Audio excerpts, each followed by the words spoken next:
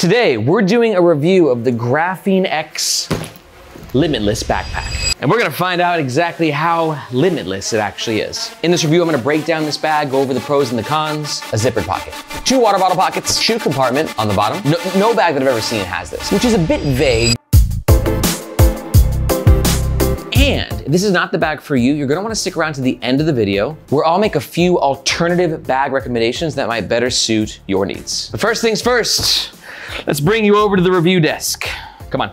All right, let's kick this off by talking about the gist of the Graphene X Limitless Backpack 25 liter. This is the part of the review where I try to capture the essence of this bag in, in like two to four minutes. And this is a tougher bag to capture its essence with because there's a lot going on. In essence, Graphene X, the brand, is known for infusing graphene into their fabrics. They started off by making kick-ass jackets and pants and shirts, and now they moved on to the world of carry, which is my world. I reviewed their shirts and pants and jacket before, I was a big fan of them, and then when they infused the graphene into this polyester into the backpack, I was like, I, I gotta see this. Now I'll tell you what I think about it in the next chapter. But this bag is not without features. Some of them quite unique. We've got a shoe compartment on the bottom, an admin compartment with tons of organization. Oh, and also that this high vis interior, you're either gonna love it or you're gonna hate it.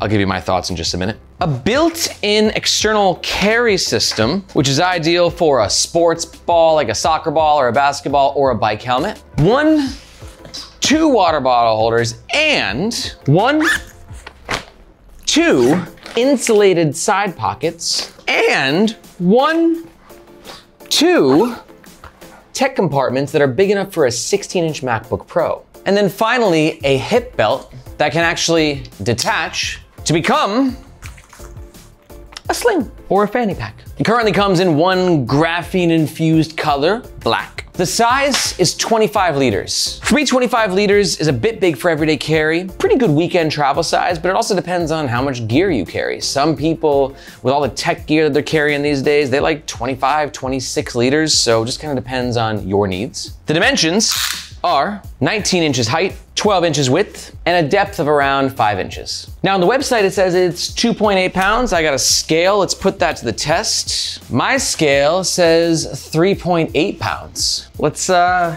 use the backup scale to double check. This is scale number one. Let's try scale number two.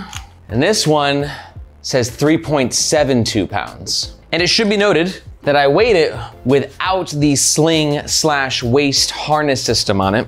Ultimately, the scales don't lie. One said 3.7 pounds, one said 3.8 pounds. Maybe Graphene X can clear this up in the comment section below, but this bag is definitely closer to four pounds than it is to three pounds. The bag retains its shape pretty well. This is uh, what it looks like when it's empty, and this is what it looks like when it's out in the field. For reference, I'm five foot eight, and our media manager, Margaret, is five foot two. Graphene X offers a warranty for the usable lifespan of the product, which is a bit vague, so definitely check out the wording of the warranty before you make a purchase. And for all that, the Graphene X Limitless 25 liter backpack runs around 300 USD. And if at any point in this review, you're just totally digging its unique feature set and you're gonna make a purchase, we do ask that you do so using the first link in the description below. Reason being, that link makes sure that you get the best price and we oftentimes have discount codes. But that link also helps to support the Nomads Nation YouTube channel and team so we can keep making the best damn bag reviews on the web. Thank you very much. Okay, let's talk about the front of the Graphene X Limitless 25 liter backpack. First up, branding. A lot of bags have like a big old logo slapped somewhere on here and Graphene X doesn't, which is greatly appreciated. You've just got the branding on the side right here. And I think that's all. Very subtle, very cool. But now let's talk about one of the most unique selling points of this bag, which is the fabric. Allow me to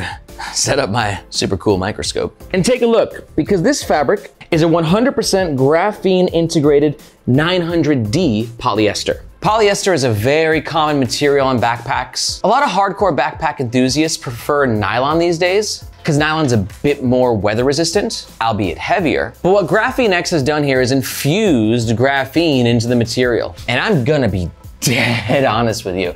I don't know how good that is. Is this material water resistant? Absolutely. But the level of its water resistance is something that I'm just not gonna really be able to comment on confidently. But if you're like even more into fabrics and materials than I am and you have some insider knowledge on how weather resistant and abrasion resistant this graphene infusion fabric actually is, please let us know in the comments below.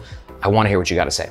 We've got a little external lash point right here, good for carrying things externally on the bag. And then below that, we have one of the more interesting features, which is this built-in net. If you're a baller, right, you're shooting hoops on the weekends and you need somewhere to carry a basketball, like this is awesome. Very few, ba- no, no bag that I've ever seen has this. And it's niche, but like I said, if it's in your use case, this is going to be invaluable for you. Also for you cyclists out there, you clip it into place, you pop your helmet on, and then when you don't need it, stuff it back in, out of sight, out of mind. From there, we got one, two front pockets. Neither of these pockets have any additional organization. They're just kind of throw-alls. And both of the pockets are protected with these YKK weather-resistant zippers. For me, these pockets are great for things that you want quicker access to, like your over-the-head headphones, maybe a cell phone. Might even be able to throw a notebook in there. Let's test it out. Notebook, Moleskine on the bottom. Ooh, perfect fit. My Sony XM-H5s.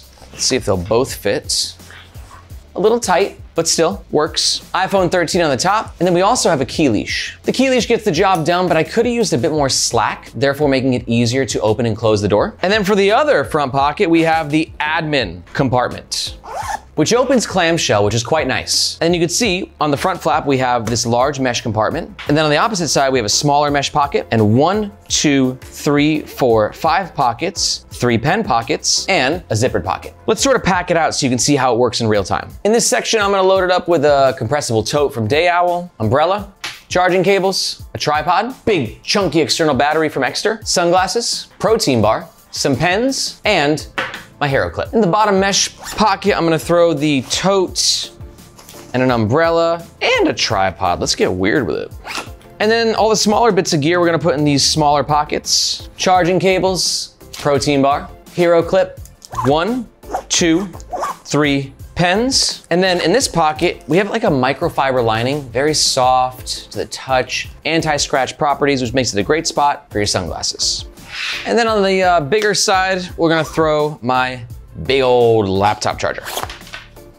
And you can see right here what this admin compartment is all about, organization. This compartment sort of eliminates the use or the need, I would say, for a tech pouch, right? Because you can just kind of throw all your tech stuff here, therefore making more space in the main compartment. And it gives you also semi-fast access to all these bits of gear. And one quick aside, let's talk about this lining, because like I said, you're either gonna love it or you're gonna hate it. For me, I respect that Graphene X tried to do something different by adding a different color that you don't really see in a lot of other bags. And it is definitely high vis, which makes it easier to find your gear, especially on those, you know, dark nights. But also on the flip side, I think it might be a little too loud for some people and a color that not everyone's gonna like. And I think it kind of gives the bag a little bit of a cheaper look. But ultimately, that's gonna come down to your personal taste. And I wanna hear your taste and what you think about this color. Let me know down there in the comments below. I'm really curious to see, like, uh, does it look cheap to you? Am I, am I missing something here? Let me know in the comments below. And I know that it's not easy to try and find something original that also has functionality. And I know this because, I don't know if you know this, but I'm actually building my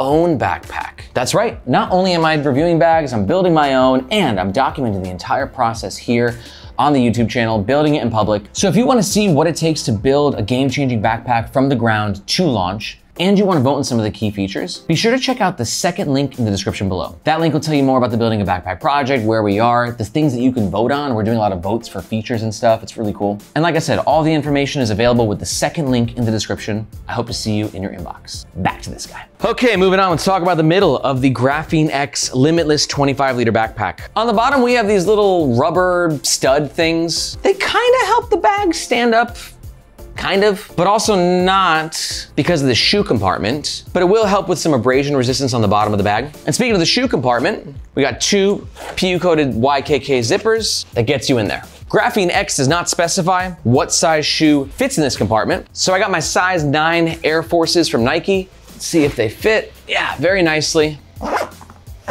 Zip it on closed.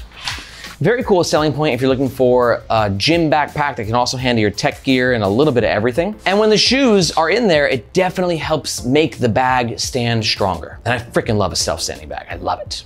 Two water bottle pockets. Let's test their capacity. I got a 17 ounce water bottle from Larq and a one liter water bottle from Yeti. The 17 ounce fits with plenty of room to spare. You can see we got some elasticity right here on the water bottle holder, which helps expand it so you can fit a larger water bottle. How large though? Let's find out. Will the one liter Yeti fit? Ooh, it absolutely will. And one other thing to know about the water bottle holder is that we have these compression straps which help to A, compress the bag, but B, you could use it to help keep the water bottle in place so it's nice and tight. Ooh, upside down water bottle test. Not a lot of bags pass that. Very good. Very good. On the top, we got a beefy top handle, pretty comfy, really nice material underneath, gives a little sense of satisfaction every time you touch it, and plenty of space to be able to put your hand in and grab it. Now, before we move to the main compartment, let's talk about another one of the more interesting features of this bag, which is the two insulated side pockets which yet again is like showcasing why this bag, it's, it's, a really interesting bag. Because there's some things about it I really don't like, and I wonder if the price point is worth it. But like, there's also things in here that are not available anywhere else in the market. So like, if an insulated side pocket, no, if two insulated side pockets like speaks to you, you're like, dude, I keep my coffee hot and my freaking, you know, my water cold. Use these uh, water bottle holders for an umbrella and maybe a battery or something. This is the bag of my dreams. Very unique, something I've never seen before on a backpack. Whew, this bag has a lot. All right, main compartment. We got YKK zippers, smaller YKK zippers. I don't know what size they are, but they're pretty tiny for a main compartment. And then we're in, and that is high vis, baby. One thing to know about the shoe compartment is it definitely eats into the main compartment. It, there's no way around that. But you can see here how much space it actually takes. Now I've gone ahead and removed the shoes so we can get a better idea of the capacity of this main compartment. And it's got a bit of organization and some features as well. On the front flap, we have this zippered compartment, which has a really cool expansion feature. We've got some Velcro here, which enables you to attach other products from Graphene X's modular ecosystem, such as their tech pouch and Shirtmaster. A top zippered pocket that goes all the way down, and this little clip right here, which I assume is for the hydration bladder, which you'll notice actually peeks in from right here. Hey, hey guys, where's the party? and a little mesh side pocket. Now, like I said, 25 liters is a bit too big for everyday carry for my needs, so I'm gonna pack this out like I'm going for a little weekend trip to, let's say, Taiwan. We're going to Taiwan, let's go! Xiao Long Bao for everyone. I got a packing cube from Aer, a smaller packing cube from Aer. This is a week's worth of clothes, a hoodie in case it gets cold on my flight, dopp kit for the bathroom needs, and a book. Packing cube first, fits really nicely in this bag. And then we can go ahead and throw the dopp kit and the second packing cube right on top of that. Hoodie, you go there. And then in this flat pocket, go ahead and throw my book, little light reading. And like I said, it's nice to have this expansion feature. Really nice execution there. I like what they did. You can see I can close it shut. And I'm gonna say, yeah, for a 25 liter backpack, this can pack a punch. It kind of feels more like a 28 liter. Taiwan, here we come. Not yet though, we gotta finish the review first. That should be it for the middle. Let's go ahead and wrap this up by talking about the back of the Graphene X Limitless 25 liter backpack. And we're gonna start with one of the most unique selling points of the bag, which is not one, but two tech compartments. That's right, they do not lead the same pockets. They are separate. And I gotta admit, I respond to every comment on this channel and I often get asked, Aaron, what's the best backpack for two laptops? And I never have an answer, but now I might have my two laptop backpack ultimate recommendation. Or will I? Each side is supposed to be big enough to fit a MacBook Pro 16 inch. But one thing I'm not crazy about with these laptop compartments is how like loose this fabric is. It's kind of just like all over the place. It's not a very tight fit, which makes me a little cautious to throw my laptop in there. But on the flip side, the material is very fine microfiber, and my 13 inch MacBook Pro is in there. Zip it on closed, and it feels good. You'll also notice that it has sort of a false bottom, which means that if the bag hits the ground, oh yeah, the laptop is nowhere near the bottom. It's like right here. That's a really great false bottom. A little extra security for your laptop. So on the other side, let's throw a tablet. I've got the Samsung S9 FE, and I'm not sure how good I feel about this. Now the other laptop is, is here. So the other MacBook Pro is a key. And this thing is decked out with gear right now. So trying to slide that in, it's kind of weird with that excess fabric and it, it doesn't feel amazing, I will admit. Now let's say though you don't wanna pack this thing out as much, you're not going for a weekend trip in Taiwan, it's just for your everyday carry. So you got less gear in there. Then the dual tech system is a bit better. They're sort of competing with space for each other, just given the construction of this feature set. I don't know about two 16 inch MacBook Pros, but if you're doing a MacBook or a laptop with a tablet and the bag's not too packed out, it can work, but you might run into some problems if this bag is really decked out with a bunch of gear, especially that main compartment. On the top, we have a small little AirTag holder, luggage pass-through holder, which is great because it allows you to carry the bag standing upright as opposed to laying horizontally. Big fan of that. I also like the ventilated mesh they use on the back panel and there's like these like rivets is cuts in there, which is gonna help enhance the breathability of the back of the bag. The shoulder straps feel a little bit on the cheaper side to me, almost like a little cardboardy, not quite cardboardy, it's not maybe fair, but it's, it's, it's stiffer and there's not a ton of padding on there, but the ventilated mesh will help with breathability. Adjustable sternum strap is always appreciated as it helps to redistribute the weight from your lower back to your torso. And we've got an external clip right here made from Duraflex. They make the best hardware in the game. And much appreciated, we have a little web holder right here, AKA a dangle stopper, because there's nothing worse than buying a $300 backpack and then just having like these little things like flopping all over the place. Hashtag stop the dangle. Now, before we jump into the comfort, let's talk about this last feature, which is a sling that actually attaches or sort of weaves its way in to the back of the bag, which then creates a hip belt. I got mixed feelings on this. On the pro side, you gotta love a product that's doing two things in one, right? So let's say you are doing that weekend in Taiwan, gonna get some beef noodle soup, you got like a 20 minute walk ahead of you, and you know, you don't wanna take this big with you. Just slide this on out and kaboom, you got a sling or a fanny. It's just got one compartment and the same high vis interior lining. So, you know, in theory, it, it's cool, right? Two products in one. You just got a free sling, dude. But it's important to keep in mind that with any product that tries to do two things in one, you're always going to have compromises to make that happen. For instance, just, you know, straight up, this sling will never be as good as like a dedicated sling. Like take a look at this, the Aer City sling. That sling is a masterpiece of a sling. Next level comfort, accessibility, durability, all that, right? This sling in contrast, you know, it gets the job done. It's slingy, but it's designed to fit here and to also be a waist belt, you know, compromises. And then the other compromise is just as a waist belt, it's not the greatest waist belt. It's, it's not designed just to be a waist belt. It's designed to be a sling that can also be a waist belt, that can also be a sling. So, you know, pros and cons, anytime a company tries to do this, I commend the innovation, but the execution is just something you have to be aware of as you're weighing that out. Okay, this thing is fully packed out. Let's uh, take it outside and give it the good old comfort test. Aaron, 20 minutes from now, what do you think about the comfort of this bag? Go. So, been outside wearing this bag, fully packed out for around 20 minutes now. For the comfort, it gets the job done. The rivets in the back padding give a nice little sense of comfort and ventilation, but I'm not as crazy about the shoulder straps. They're definitely dense and like kind of robust, but in a way that feels a little more maybe cheap or cardboardy. Sometimes though with shoulder straps like this, you gotta break them in over time. So I will give them the benefit of the doubt there. But yeah, for comfort, like I said, average, it gets the job done. Let's take it back up to the office.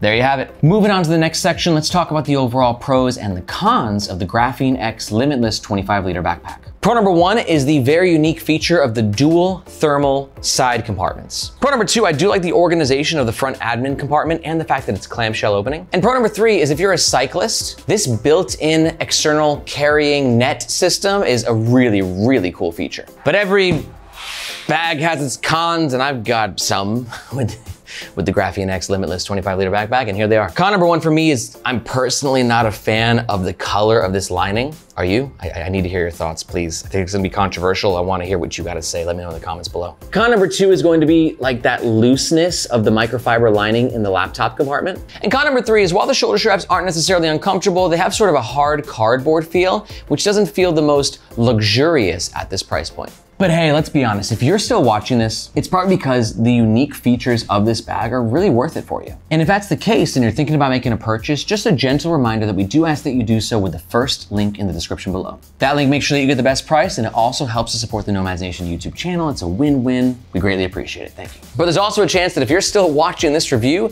it's to hear what my alternative recommendations are, and I'll tell you over at the backpack rack yonder. Let's walk. All right, so if you're still not feeling this guy, I got some alternative recommendations. The first one of which is the Mous Commuter Extreme Backpack.